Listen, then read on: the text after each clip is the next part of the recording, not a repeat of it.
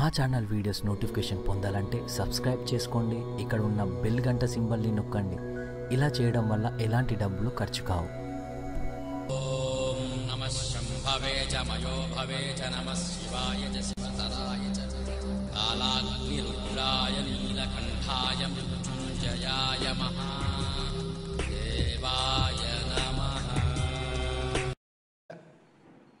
అంతర్ముఖత చెందినప్పుడు ఇంకెంత పొదుపుగా ఉండాలి? ఇంకెంత సంయమనంగా ఉండాలి? కాబట్టి ఇక్కడ కూడా దమహ బాహ్యేంద్రియ నిగ్రహ. బాగా ఆలోచించండి. ఉపరతి. బాగా ఎంత గొప్పగా ఉందనంటే ఇవన్నీ లింకులండి. అంతరింద్రియాలంతా నిగ్రహంగా ఉండాలనుకోండి బాహ్యేంద్రియ నిగ్రహణం ఉండాలి. బాహ్యేంద్రియ నిగ్రహణం కావాలనుకోండి ఉపరతి అంటే ప్రప ప్రాపం ప్రపంచంలో అన్నీ ఉంటాయండి. ఇది ఉండదు ఇది లేదని ఉండదు అన్నీ ఉంటుంది. మంచి ఉంటుంది చెడు ఉంటుంది. దుర్మార్గము ఉంటుంది సన్మార్గము ఉంటుంది. పగలు ఉంటుంది రాత్రి ఉంటుంది. ద్వంద్వాలతో కూడుకుంది ప్రకృతి. నీకేది కావాలో నువ్వు అది తీసుకో బస్. నీ ఆధ్యాత్మిక సాధనకు చేయుతునిచ్చే విషయాల్ని తీసుకో. బాగా ఆలోచించండి. ఇప్పుడు నేను స్వామీజీని ఇక్కడ నుంచి కాకినాడ ప్రయాణమే వెళ్ళాలి లేకపోతే వేరే ఊరు వెళ్ళాలి. మార్గ మధ్యలో స్వామీజీ వస్తున్నారు కనుక ఎవరు మటన్ షాపులు చికెన్ షాపులు పెట్టకూడదు తీసేయండి.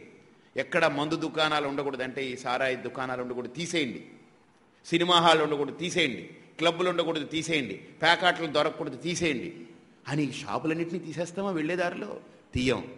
మనం వాటి జోలికి వెళ్ళాం మన దారిలో మనం పోతూ ఉంటాం. చేపల మార్కెట్ ఉంటుంది. ఆ పక్కనే కూరగాయలు అమ్ముతుంటారు. రైతు బజారు ఇక్కడే ఉంటుంది. చేపల బజారు ఇక్కడే ఉంటుంది. నువ్వు వెళ్ళే ఎక్కడికి వెళ్తావు నువ్వు? ఇక్కడికి వెళ్తావు. అక్కడికి వెళ్ళి అబ్బాబాబాబా అసహించుకుంటూ ఉంటావా? నేను మొట్టమొదటి రాజమండ్రి వచ్చానండి ఫస్ట్ డే ఇక్కడ. యూట్యూబ్ నుండి బాబు అంతా వాసన వాసన వాసన వాసన ఉండలేకపోయాం. ఇప్పుడు నాకు తెలియటమే లేదు. సహవాసం. ఇప్పుడు ఆ వాసన అలవాటైపోయి ఇప్పుడు అగరవత్తులు పెడుతుంటే తేడాగా అనిపిస్తుంది నాకు. ఇప్పుడు బహుశా నేను కాకినాడ వెళ్ళాను అనుకోండి ఉండబుట్ ఉండబుద్ధి అవ్వదు. ఇక్కడికి వస్తే కానీ నిద్రపట్టదేమో అలా తయారైపోయింది. ఫస్ట్ వచ్చిన కొత్తల్లో ఫస్ట్ డే అడిగాను ఏంటంటే బాబు ఈ వాసన? అంటే ఆయన కూడా అన్నారు ఏమి లేదండి మాకేం కనిపించట్లేదు అన్నాడు. ఓహో గొప్ప. ఓహో నేను కూడా మూడు రోజులు ఉంటే ఇదే స్థితప్రజ్ఞ స్థితికి వచ్చేస్తానండి అంటే ఉన్నా గుర్తించలేనటువంటి స్థితికి వెళ్ళిపోయాడు అనమాట ఆయన. ఉపరతి అంటే అర్థం ఏంటనంటే విషయాలు ఉంటాయి లోకల్లో ఉండకూడదు. ఎక్కడ తీసేస్తామండి ఇవన్నీ? వీడిని తీసే వాడిని తీసే దీన్ని తొలగించే దాని అన్నీ it's all problem is here సమస్య ఇక్కడ ఉంది అందుకనే మా గురువు గారు అంటారు you are the problem you are the solution అడవిలో ముళ్ళన్నీ క్లియర్ చేసేస్తారా? లేదు. మీరు అడవిలో నడిచి వెళుతున్నారనుకోండి అడవంతా చెప్పులు పొరుస్తారా? లేదు మీ కాళ్ళకి చెప్పులు వేసుకుంటారు అడవంతా చెప్పులు పరిచేవాడు ఎవడు అవివేకి. వాడికి బుద్ధి లేనివాడు. ఎందుకండి అన్ని చెప్పులు ఎందుకు?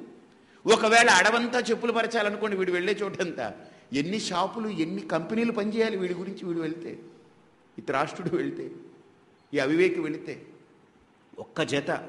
మంచి చెప్పులు ఒక్క జత వేసుకుంటే హాయిగా వెళ్ళిపోవచ్చు. కాబట్టి అడవిలో ఎక్కడా ముళ్ళు ఉండకూడదు. ముళ్ళు ఉండకూడదు. అడవి యొక్క సహజం అది. గుణం. నేను పువ్వు కోయడానికి వెళ్తాను ఈ గులాబీ పువ్వు కోస్తున్నానండి. చి పాడు ముళ్ళండి. గుర్తుపెట్టుకోండి. ఒక స్వామీజీ అన్నారు నాకు చాలా నచ్చింది. మనందరం గులాబీని ఇష్టపడతాం కదా గులాబీని కోస్తాం కదా మనం వెళ్ళిన తర్వాతట ఆ ముళ్ళు మన చెంగునో మన చీర చెంగునో మన పంచ చెంగునో పట్టుకుంటుందట. పువ్వుకి పెద్ద ఇష్టం ఉండదట మన మీద. చి వీడు వచ్చాడు నన్ను కోసుకుపోతున్నాడని. కానీ ముళ్ళుకు చాలా ఇష్టం ఉండండి నా దగ్గర. ఇంకొంతసేపు ఉండండి అని పట్టుకుంటుందట. చంటి పిల్లలు ఇంట్లో పట్టుకుంటారు ఇంకా వెళ్ళకండి ఇప్పుడే అని. ముళ్ళు పట్టుకుంటుందట. ఆయన అంటారు ముళ్ళుని విమర్శిస్తాం కానీ ముళ్ళు అంటుంది నా దగ్గర కొంతకాలం ఇక్కడ ఉండవా? అంటుంది. పువ్వేమంటుంది? చిచ్చి వచ్చాడరా బాబు వీడు విమర్ నన్ను పీక్కుపోవడానికని పుష్పం తిట్టుకుంటుంది. ముళ్ళు మనల్ని ప్రేమిస్తుంది. ఆ ముళ్ళుని మనం ద్వేషిస్తున్నాం. అంటే సాధువుల యొక్క దృష్టి ఎంత మహోన్నతమైన దృష్టి ముళ్ళుని కూడా ప్రేమించే స్థితి అంటే ఇంకా అతను ముల్లోకాల్ని దాటిపోయిన వాడే ముళ్ళుని కూడా ప్రేమించగలండి అలాంటి స్థితికి ఎదగాలండి మనం. ద్వేషాలు ఈర్ష్యలు అసూయలు పగలు పెట్టుకుని వాళ్ళ మీద వీళ్ళ మీద కారాలు మిరియాలు నూరుకుంటూ బ్రతకడం ఎందుకు ఇంకా అలా బ్రతుకుతూ ఇందులోకి రావద్దు. ఈ ఆత్మబోధ ఆత్మచింతన ఆధ్యాత్మికత సంబంధమే లేదు. అలా బయట ఉండొచ్చు అలా. ఇబ్బంది ఏం లేదు. అలా ఉంటూ ఇందులోకి రావడం అనేటువంటిది అసంబద్ధమైంది. రెండు పొసగదు. కాబట్టి ఇక్కడ ఉపరతి అని అంటే విషయాలన్నింటినీ కూడా సమగ్రంగా గ్రహించి నాకేది హితమో నాకేది కావాలో వాటిని పెట్టుకుని వాటితోటి ప్రయాణం చేయగలగాలి. అది కూడా హితభుక్ మితభుక్. అంటే భుక్ అంటే తినమని అర్థం. అంటే హితమైనటువంటి విషయాల్ని ఆస్వాదించు అహితమైనటువంటి విషయాల్ని దగ్గరకు దరి చేర్చకు. అది కూడా మితంగా ఆస్వాదించు హితమైన విషయాల్ని స్వీకరించు అది కూడా మితంగా స్వీకరించు. ఆలోచించు. బయటికి వెళ్ళాలి సరదాగా ఉండాలి పది మందితో మాట్లాడాలి. కానీ ఉదయం లేచింది మొదలు రాత్రి వరకు సరదా అంటే ఇంకా వాడిది మనమేం మాట్లాడాలి? కొంతసేపు ఏదో వ్యాపకం.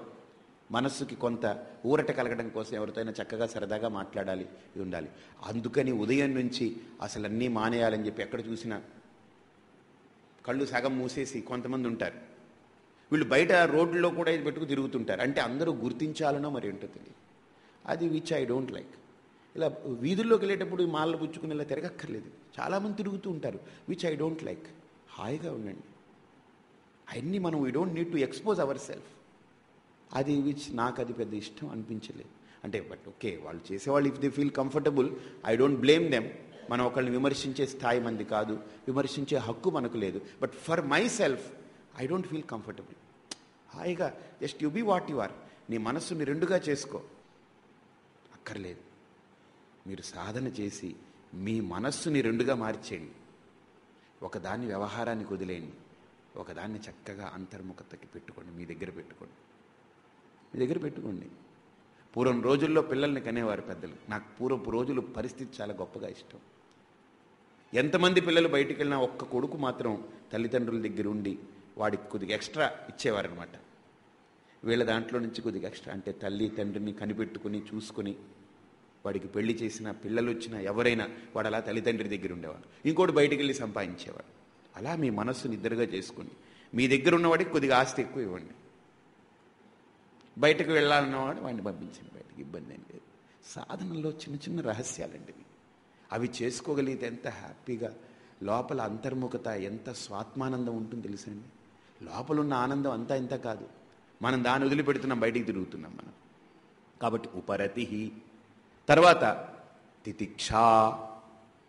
తితిక్ష అంటే ఏంటనంటే సహనం సర్వదుఖానాం అప్రతీకారపూర్వకం చింతా విలాపరహితం సా తితిక్షాని గద్యతే అంటారు.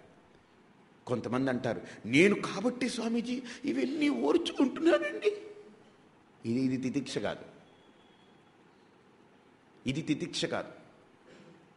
అసలు తితిక్ష అనరు. శంకరులు అంటారు అద్భుతంగా తితిక్ష అంటే సహనం సర్వ దుఃఖానం ఎన్ని దుఃఖాలనున్నా you should be cushioning for that మన దగ్గర షాక్ అబ్జర్వర్స్ ఉండాలి. బండి వెళ్తుంది ఓ గొయ్యిలో పడింది అనుకోండి ఆ బండికి మంచి జోకర్లు ఉన్నాయంటే జోకర్లు అంటే షాక్ అబ్జర్వర్స్ అది బాగున్నాయనుకోండి ఎలా ఉంటుంది తెలుసండి? ఆ బండి అందులో పడ్డ మళ్ళీ మామూలుగా వచ్చేటప్పుడు ఎలా ఉంటుంది తెలుసా? వీడికి ఉయ్యాల్లో ఒకసారి ఇలా కుదిపినట్టు ఉంటుంది. అంతే తప్ప హాయిగా ఉంటుందే తప్ప ఇబ్బంది ఉండదు. షాక్ అబ్జార్బర్స్ పాడైపోయి కమాన్ కట్టలు అంటారు కార్లకి. ఆ కట్టలన్నీ పాడైపోయి తుప్పు పట్టిపోయింది అనుకోండి అది గోతిలో పడి పైకి లేచిందంటే ఒక్కసారి పడితే చాలు వీడికి ఇంకా నడ్డి పక్కకు వస్తుంది వీడి ఇక్కడ ఉంటాడు ఇంకా తర్వాత దానికి ఎన్నెన్నో పెట్టి అతికించడానికి నానా యాతన పడాలి. కాబట్టి ఒక వాహనానికి ఏ విధంగా మంచి షాక్ అబ్జార్బర్స్ ఉంటే గోతిలో పడ్డా కూడా అది గొయ్యిలో పడ్డట్టుగా కాకుండా హాయిగా అది అలా దింపుతుంది. అక్కడ కంప్రెస్ అవుతుంది అనమాట కంప్రెస్ అవుతుంది. ఆ కంప్రెస్ అయినప్పుడు ఆ షాక్ అబ్జార్బర్స్లో అంత బండి కూడా అలా ఎలా ఉంటుంది అంటే శుభ్రంగా ఉయ్యాల్లో ఊపినట్టు మనకు పెద్ద ఏం తెలియదు హాయిగా ఉంటాం మనం. బాగా ఆలోచించండి. అందుకనే రైల్వే పట్టాలు రైల్లాగా ఉండదండి మన ప్రయాణం. Indian roads nineteen twenty Ambassador కార్లా ఉంటుంది మన ప్రయాణం. కాబట్టి షాక్ అబ్జార్బర్స్ కావాలి. అందుకనే ఇక్కడ